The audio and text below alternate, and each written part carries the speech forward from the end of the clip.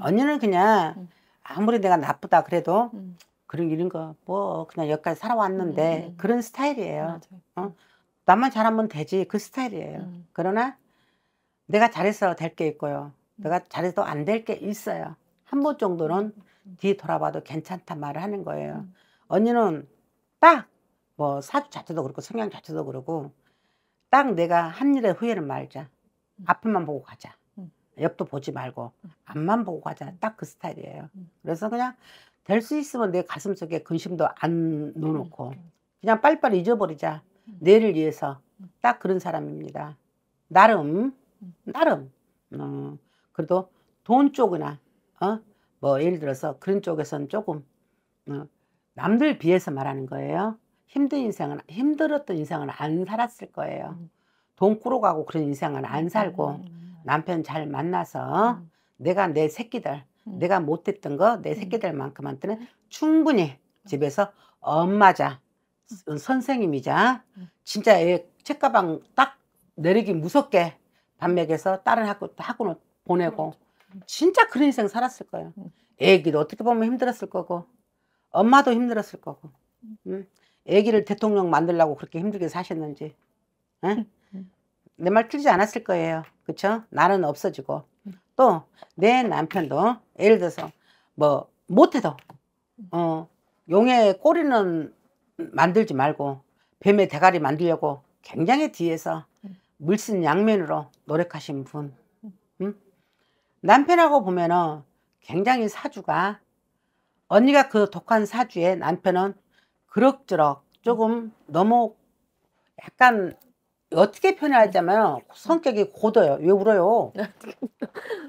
너무 안아주시니까 성격이 고돼가지고 약간은 음. 그냥 군대 스타일 같은 남편? 딱 음. 자기 말은 법이야.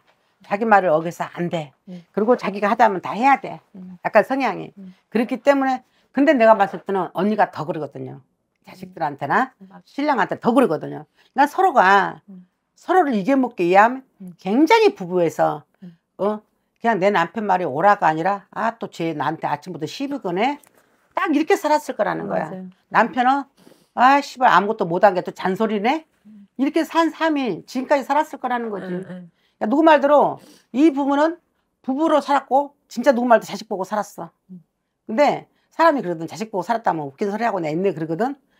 그면서도 불구하고 부부 정이 나름 티각티각 싸웠지만 음. 그래도 부부 정이 없는 건 아니에요. 음. 그렇죠? 음. 근데 작년에 남편이 좀 힘들었을 거예요. 작년에 음. 줄을 잘 못 탔어요. 음. 맞죠? 음. 나 작년에 재작년에 음. 줄을 다른 노선으로 탔어야 되는데 그분이 승승장구 할 줄 알고 음. 줄을 잘 못 탔어요.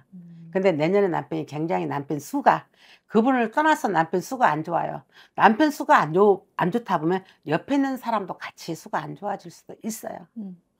잘 못했다가는 그 나를 밀어준 이가 음. 힘이 없게 보여요. 음. 나를 밀어준 이가 구설에 말리게 보여요. 음. 음, 내년 정도에. 음. 그래서 남편이 내년에는 굉장히 만약에 승진을 해야 된다 그러면 오히려 승진을 무리하게 된다. 지금 물어볼게요. 남편이 두 사람하고 싸우고 있어요. 두 사람이에요. 그냥 응 하지 말고 네. 두 사람하고 싸우고 있냐고요. 네. 승진에 네, 네. 두 사람하고 싸우고 네, 있냐고. 네. A 나이냐 B 나이냐 이렇게 네. 싸우고 있다고요. 근데 잘못하고 남편이 진다는 거예요. 아. 그쪽에는 비빌지도 알고 아발지도 알아요. 아. 근데 이쪽에는 너무 단순하게 가는 것도 있지만은 내년에는 남편이 꺾여지는 사주라고. 아. 그렇기 때문에 남편이 개- 내년에 굉장히 사주상이 위험하다. 아. 어? 아. 그 말을 제가 하는 거예요. 네. 내년에 이제 남편이 올라가면은 아마 3년, 5년은 편안하게 갈 거예요. 맞아요. 맞죠? 네. 3년, 5년, 5년은 누구한테 구속받지 않고 맞아요. 진짜 누구 말대로 높은 자리에 앉아서 양주나 마시면서 네. 어? 일찍 퇴근하고 싶으면 일찍 퇴근하고 음. 구애받지 않는 생활을 할 거란 말을 하는 네, 거예요. 네, 네, 네. 아마 굉장히 자기가 거기까지 올라가기 위해는, 위해서는 굉장히 고생도 많이 했고 노력도 많이 했을 거야. 네. 진짜 음. 그냥 내 부모만 부모가 그까지 끌어주지 않고 네. 독립된 생활이라 그러지 네. 네. 잘했던 생활로 그까지 올라갔을 거라 말하는 겁니다. 네. 네. 네. 맞죠? 네. 그래서 내, 내년에 남편이 굉장히 안 좋네. 아. 굉장히 뭐 뭘 집에 건드려서가 아니라 뭐가 누가 어째서 그게 아니라 네. 사주 자체의 어, 기운 자체가 내년하고 부딪히는 해였다고 보면 아, 돼. 네. 네. 네. 내년에. 네. 그래서 내년에 승준이 딱 7대 3. 음. 3%가 밖에 안 된다는 거야. 7이 위험하다는 뜻이야. 아. 내가 고생 그만큼 해놨지만 언니는 지금 음, 내년에 승진을 두 사람 시켜야 돼. 네. 하나는 남편, 또 맞아. 하나는 또 있지. 맞아요. 누구지? 이사장. 어, 아니 승진을 두 사람 아, 시켜야 된다고. 음, 두 사람 시켜야 되는데 아까 그랬잖아 하나는 대통령을 만들려고 꿈꿨나 네. 물어봤잖아 내가 맞죠? 아, 음, 그 아이는 고, 고맙게 생각했어요. 나름 엄마 말씀이라면 그래도 많이 따라줬어요. 맞아. 지 진짜 밤 꼬박 새면서 공부하네 맞아요. 열심히 했던 거 내가 맞아요. 이제 근데 지쳤어요. 근데 마지막에는 엄마가 져주세요. 무슨 뜻이냐?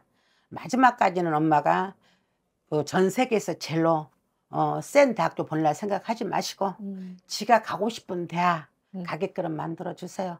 저 엄마한테 그걸 부탁하고 싶어요. 음. 왜?